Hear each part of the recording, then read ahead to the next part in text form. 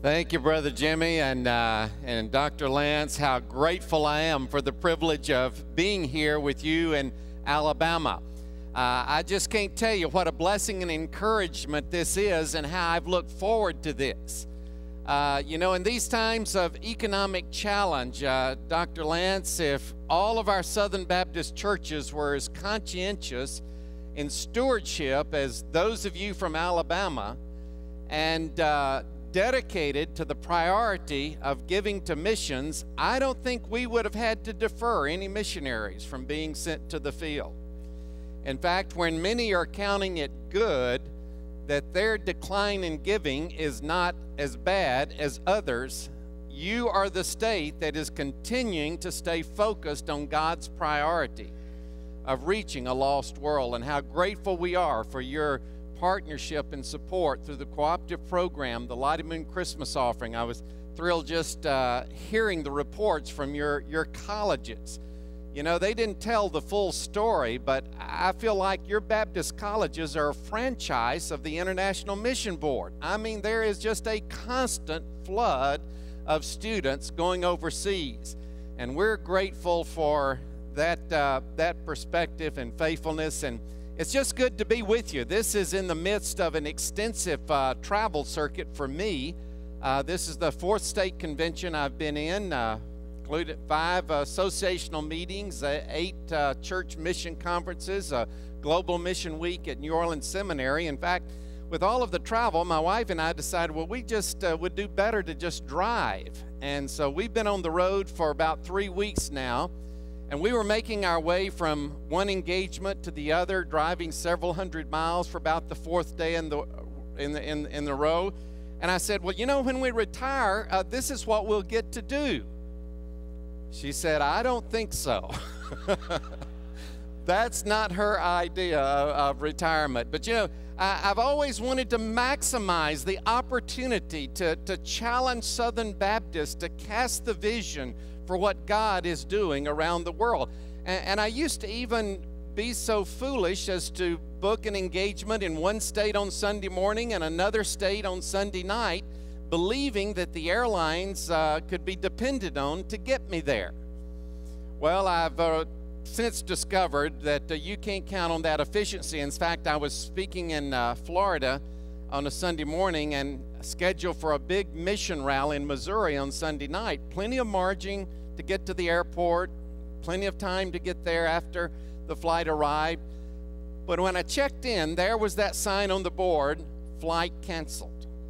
And I just panicked. You know, this is not good. You know, I have got to get there. The agent said, Well, it's no problem. We've got you backed up on the next flight. You'll get there at 9 p.m.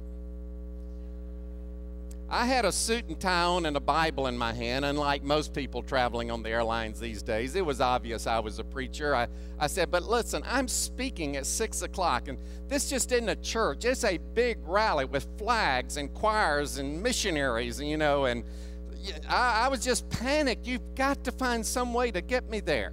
She said, Well, let me see if there's an alternate flight. She began to type on the computer and as she was she was uh, doing that, she said, uh, "You know, I've been taking this course at my church uh, by somebody by the name of Blackaby." Um, that said, a crisis is an opportunity for God to work in your life.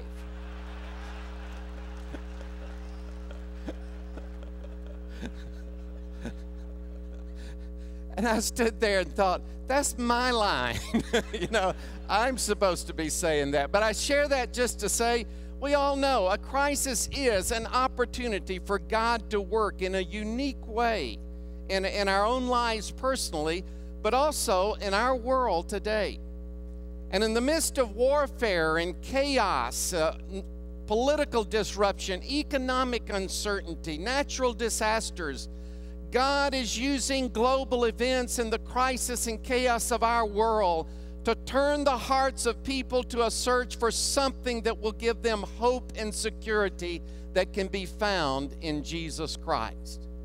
And that's not just true around the world, it's in our country today, in your neighborhoods and communities. The economic crisis the, uh, the oppression and depression, the pace of life is creating a need for something that people will find only in Jesus Christ if we will share it with them. I was traveling a couple of years ago in Central uh, Asia, an area of the world where I'm still intrigued that we, we even have missionary personnel witnessing and planting churches in uh, those Islamic countries that were so long a part of the Soviet Union and deprived of of uh, religious freedom, prohibited from hearing the gospel. And as we would go to Kazakhstan, Uzbekistan, Azerbaijan, and those republics, it, it was thrilling to see churches being planted. People who, for generations, were just in, in bondage to darkness and spiritually destitute, were just responding to the hope that they were hearing in the gospel. And that Christian witness was multiplying. It was the end of my trip, and I was prepared to return home the next day. And I asked our regional leader, How many of the people groups here in Central Asia have now been evangelized in terms of certainly not all one to the Lord, but in terms of uh, churches being planted and, and multiplying a Christian witness in that language? He knew instantly. He said, So far, we've reached 23 of the people groups here in Central Asia. And, and my heart just burst with pride that we were seizing that opportunity to go to the edge and penetrate that frontier of lostness with the gospel. Then I asked the wrong question.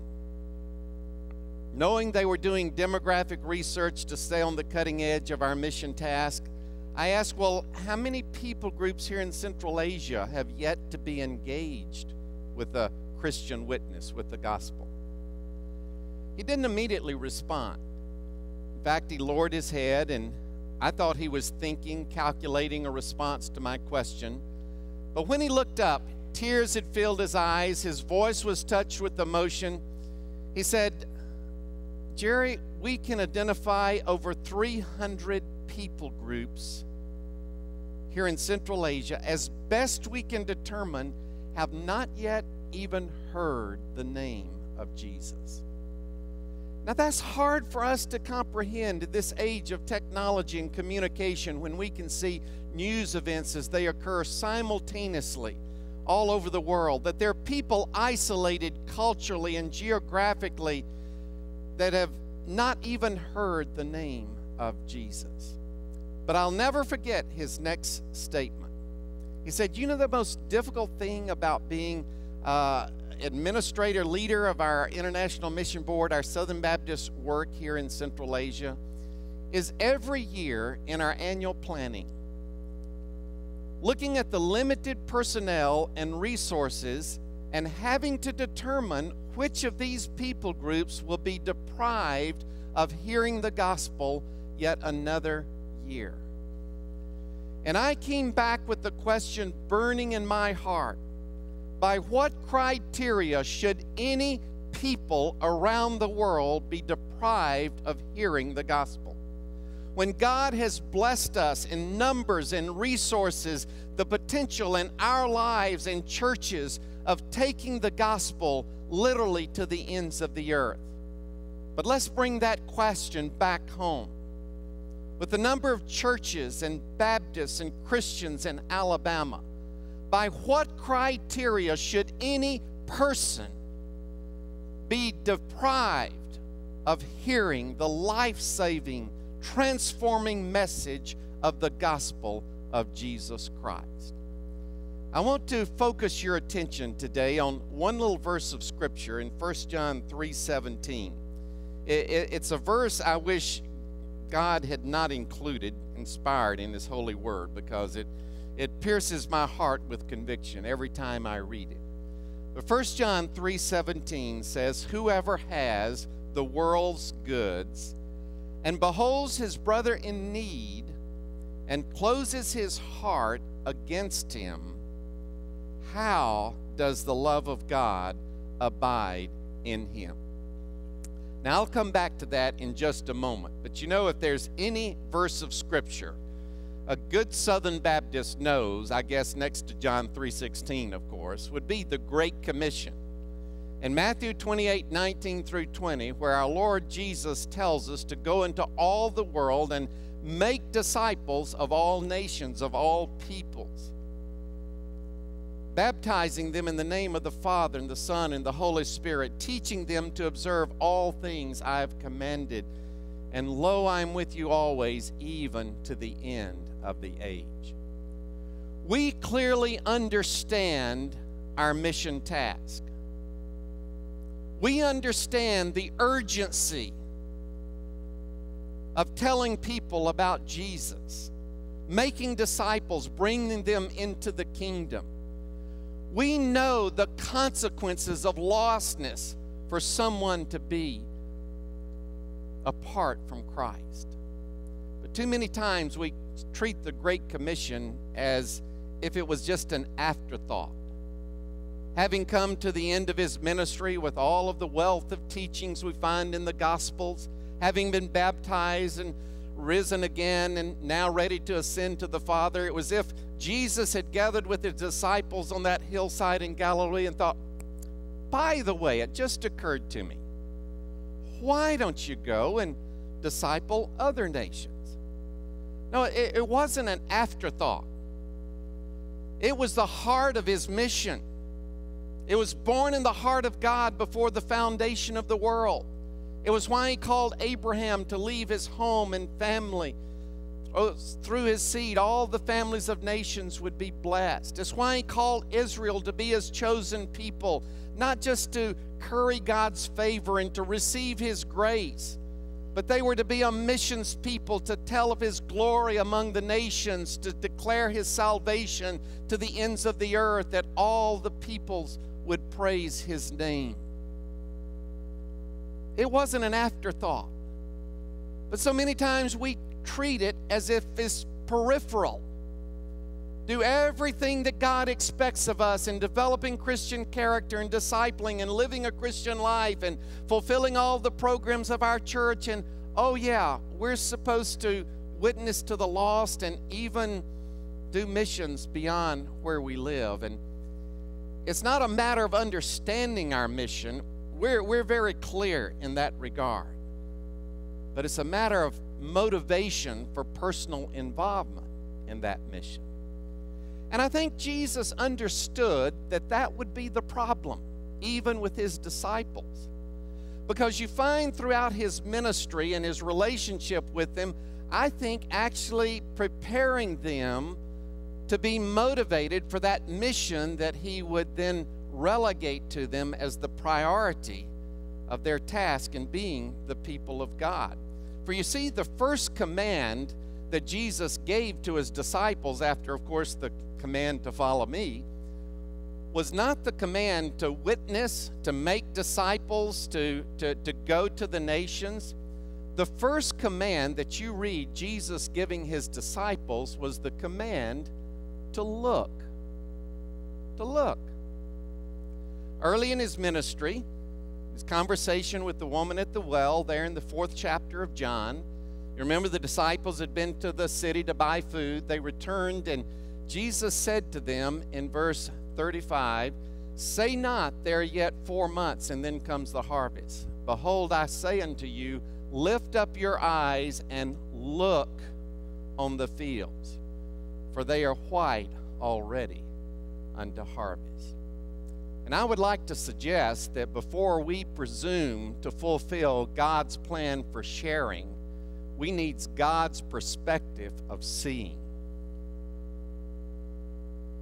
We need to open our eyes, look beyond our attendance on Sunday morning, our church programs, look beyond the fulfilling gratification of our mission trips and projects, and see the lost world around us. The world as God sees it. In that trip to Central Asia, I was in conversation with one of our, our, our personnel who was teaching at a technical school in Nukus, a little, little city in northwest Uzbekistan among the Karakalpak people. And uh, he was telling me that the school has a school song, the words of which go something to the effect the name of the school is the center of Nukus. Nukus is the center of Karakalpak land.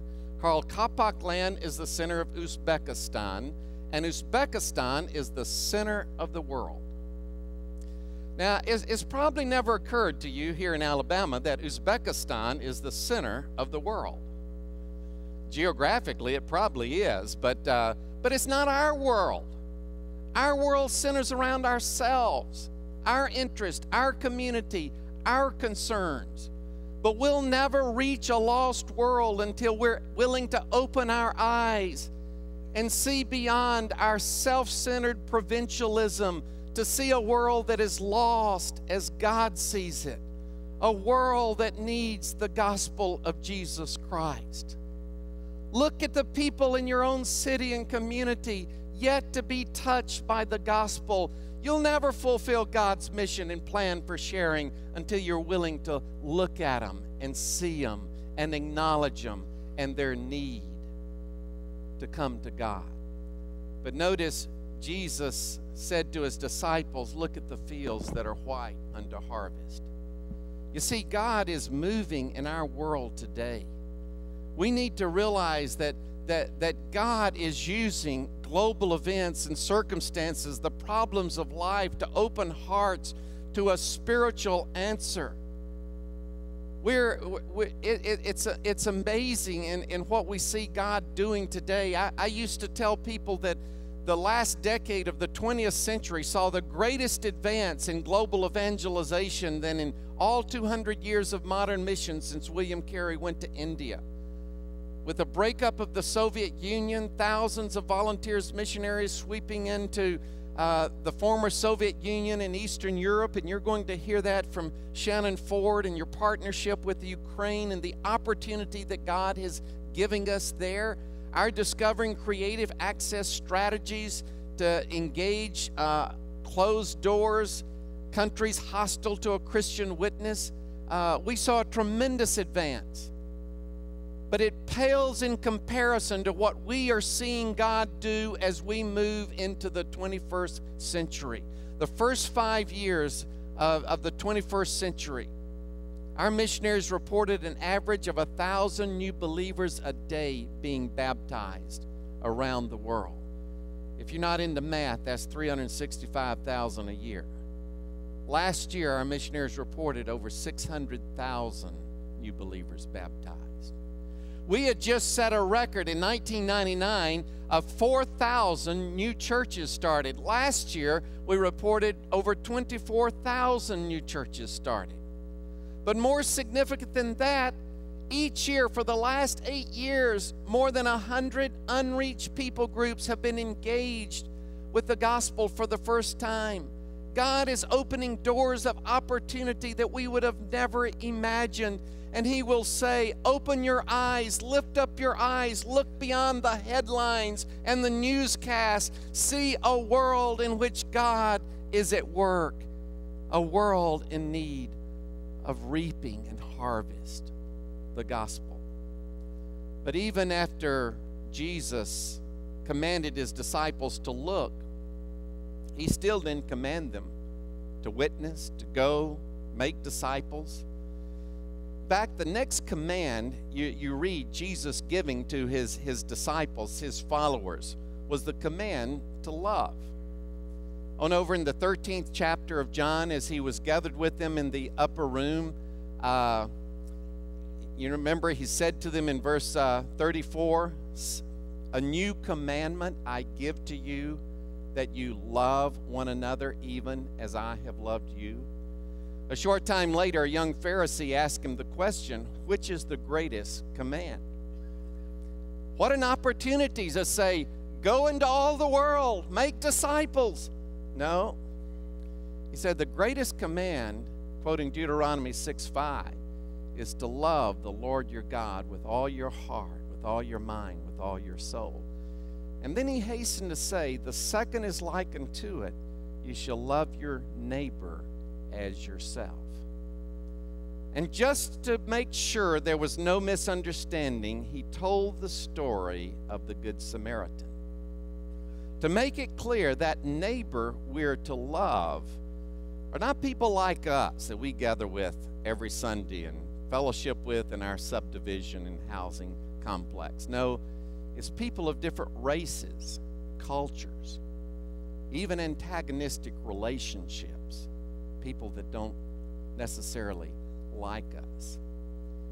And I would like to say that not only is GPS must be predicated on God's perspective of seeing, but God's program of sowing. For you see, the sowing must be done in love. A world must see what motivates us to share a gospel witness. It's not just impersonally passing out a track or hanging a, a flyer on a doorknob, but it's pouring your lives into others, showing the love of God. Jesus said, By this all men shall know that you're my disciples if you have love one for another. You see, that, that's God's program of sowing the gospel out of a, a motivation of love. Why? Because love is other centered. You know, it's not about us. You love your family, you love your children, you give yourselves to them. Love makes possible the phenomenon of sacrifice. It's not self centered. We're willing to, to, to give, to sacrifice for the sake of beloved. Well, what about a lost world? Do we think we'll implement God's plan of sharing just so our denomination can report more baptisms, so we can have statistical growth or maybe improved attendance at our church? No, the only motivation is a love for people, a love that comes from God. It, it, it, that's not our nature. And that's why Jesus said, You must love the Lord your God with all your heart and mind and soul. When you come to the place of recognizing we're just a sinner saved by grace, undeserving of His mercy, there's something that elicits a love for God and what He's done for us that enables our lives to become a channel of His love to others, motivating us, compelling us for involvement in God's plan of sharing. I used to think beating people over the head with the Great Commission would result in more people surrendering to missions, churches giving more generously, praying more, witnessing to the lost in their neighborhood. It doesn't. It doesn't motivate us. You would think any Christian would be conscientious about doing what our Lord commanded us to do, but we just rationalize that it applies to our pastor and church staff. That's their responsibility, or the missionaries we send on our behalf. In a recent appointment service, uh, after the missionaries had given their testimonies, uh, the crowd just erupted in a spontaneous ov- ovation that just went on and on.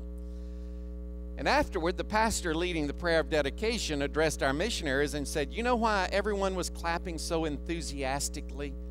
Because it's you going and not them. Yeah, we know the need for people to go, and we delight in sending out missionaries and those that are witness, but why aren't we motivated to share the experience that we've had? It's not until we're willing to see the lost around us as God sees them and love them with the love that God gives in our hearts to motivate it for them reading a book on Dr. by Dr. J. Conant on evangelism, I ran across a statement that helped me understand that concept. He said, The Great Commission is sufficient authority to send us after the lost, but it's not sufficient motivation.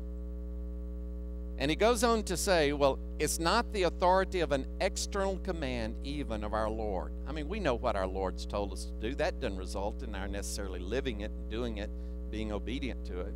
It's not the authority of an external command, but the impulse of an indwelling presence that sends us after the lost. If we're going to be successful in God's plan of sharing, in your town and community and state and around the world, it's going to come only when we have God's perspective of seeing and God's program of sowing in love not because we're commanded to, not because it's what we ought to do and need to do. In fact, I have to kind of swallow hard to acknowledge this. God never commanded anyone to go to the nations and a lost world. You know, if you're familiar with the grammar of that Great Commission passage in Matthew 28, you know, there's only one active, transitive, imperative verb it's make disciples. That's what we're commanded to do. Not, not because we, we have to, but Jesus taught his disciples a, a new lifestyle transformed by God's Holy Spirit. It wasn't a, a, that narrow, ritualistic Jewish legal system. That's not why we do evangelism and why we witness, because we're told to, we have to. That's what the law commands us to do. No, it's out of a, a lifestyle of seeing a lost people and loving them and identifying with them. How do you make disciples? The rest of the verb forms are participles. By baptizing them, upon profession of faith, teaching them all that Jesus commanded. Well, how do you make disciples of the nations? Well, let me just bring that home. Are all the peoples in your community, all of those immigrant nations, peoples, language groups, races, cultures by going, identifying with them, relating to them. Not because we're commanded to. What Jesus literally said is, as you are going, make disciples of all peoples. We don't do evangelism we don't fulfill God's plan of sharing out of an obligation because it's a program. That's what we've commanded to do. When we see a lost world and we love that world, it's an expectation.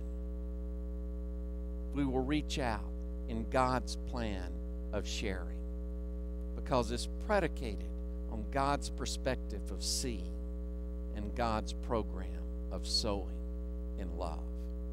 And conclusion, come back to that little verse with me in 1 John 3:17. Where Jesus said, if whoever has this world's goods and beholds his brother in need and closes our heart against him, how does the love of God abide in him? Closes with a question, but actually this verse confronts us with four questions. The first question is, what do you have? Do you have this world's goods? Now, you might readily respond, not as much as I had a year ago when the economy took a nosedive, but, uh, but let's be honest. God has blessed us with this world's goods. God has blessed and prospered us as Americans. I doubt if there's anyone here that has to be concerned about a roof over your head, a bed to sleep in, clothes to wear, food to eat. Like many of the people of our world. Because God's blessed us with the material needs and comforts of this world. But you know, the greatest good you can have in this world is your salvation. Knowing Jesus Christ. There is no material blessing or benefit that's greater than knowing Jesus Christ. Now, is that not what we have, what God has given to us in this world, in this life? Well, the second question then is what do you see? Do you see your brother in need? Now, you're probably like me. I immediately think of the homeless in the inner city, those less fortunate than we are. Certainly, God wants us to minister to them and reach out and minister to their needs. But what greater need does our brother in humanity have than the need for Jesus? To be lost do you see them? Do you, do you see the lost in Darfur and Sudan? Those in hopelessness and despair in war torn countries like Afghanistan and Iraq? Do you see the more than one billion people locked into unreached people groups, hopeless spiritual darkness? Do you see the lost in your community? your brother. That's not your blood relative, that's your brother maybe Hispanic and Vietnamese and African American. They're your brother. They're that Samaritan that we're to love. Are you willing to see them, acknowledge them, their need for Jesus? Well, the third question then is implied. So, what do you give? Or how do you respond? What, what do you do about it?